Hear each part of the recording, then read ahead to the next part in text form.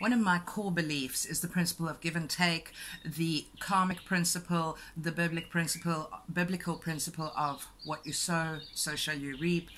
Um, the woo woo principle of energy exchange. Everything in life is an energy exchange.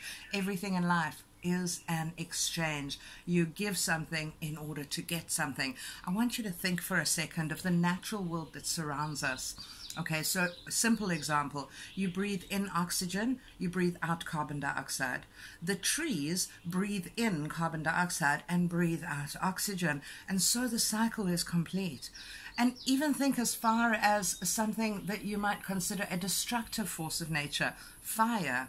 Fire still gives you heat, it gives you warmth, it gives you the ability to, in caveman days, fend off your attackers, the ability to cook your food. Fire gives so much. Okay, so there's there's this constant principle of give and take and give and take, and this energy that's exchanging all the time.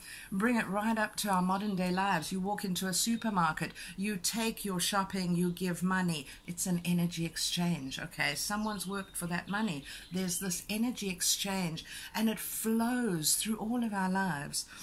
And this concept has really, I've really kind of dived into this concept this week, and it's captivated me because I've really started contemplating it in the broader context. And I want to bring it back, as always, to job search. When you're in the job market, it's very much a me, me, me scenario. I need a job. What are you going to pay me? And it's all about me. It's all about taking. So I want you to think for a second in your job search where are you giving? Because there has to be a give and take principle. There has to be a sowing and reaping. There has to be this exchange of energy in order for it to work. It is a natural law, friends. We cannot get away from it. We live on earth, and this is the natural law that surrounds us, and we have to embrace it. You cannot resist it. So I want you to think again of what you give when you're in the job search.